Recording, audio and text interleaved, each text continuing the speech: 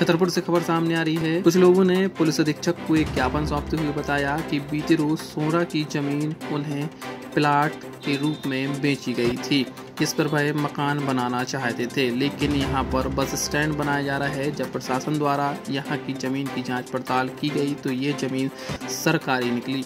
आवेदक बद्दी प्रसाद तिवारी सहित कई लोगों ने बताया कि राजकुमार पटेरिया और आशुतोष तिवारी द्वारा 2014 में उन्हें ज़मीन बेची गई थी, जिस पर उन्हें मकान बनाना था।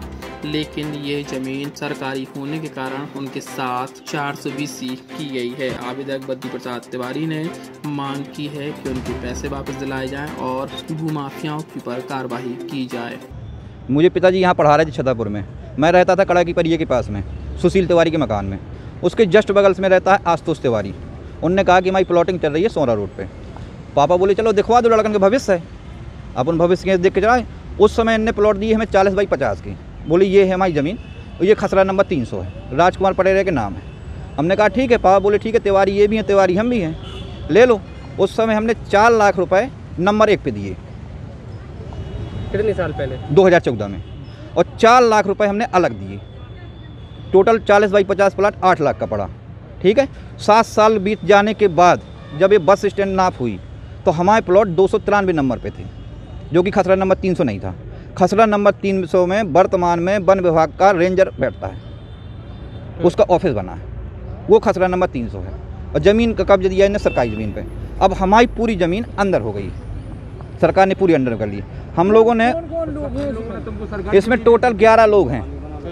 क्या नाम है एक तो बद्री प्रसाद तिवारी घनसू अहरवार प्रेमलता रैकवार राम किशोर रैकवार रामस्वरूप अवस्थी और तीन चार लोग और हैं जो नकल राजकुमार पटेरिया और कौन था आशुतोष तिवारी सौरभ खान। दो ब्रोकर रहे हैं एक प्रॉपर्टी डीलर रहा है। आज कहाँ आए हैं? आप क्या मांग रहे आपको कैसी बेची है कि खुद की बता के फिर सरकारी अरे हमारे तो पूरे कागज़ कंप्लीट करवाए ना उन लोगों ने। रजिस्ट्री करवाई है बेसुदा ड्राइवर्सन करवाया नामांतरण करवाया कंप्यूटर में चढ़वाया सब करवाओ। और आज हम एक महीने से रोड में घूम रहे हैं। हाँ, फिर क्या हो गया? वो सरकारी निकल आई क्या होगा वो सरकारी ज़मीन है ही ही। है आपको कैसे पता चला कि वो पटवारी आर आई से जब हम वहाँ गए हमने अपनी नाप करवाई। हमने नाप सुधा करवाई है। वो दो सौ तिरानवे नंबर में बैठे हैं जो तीन हेक्टेयर कुछ आ रही है। अब क्या चाहते हैं हमें एफ़ आई आर चाहिए।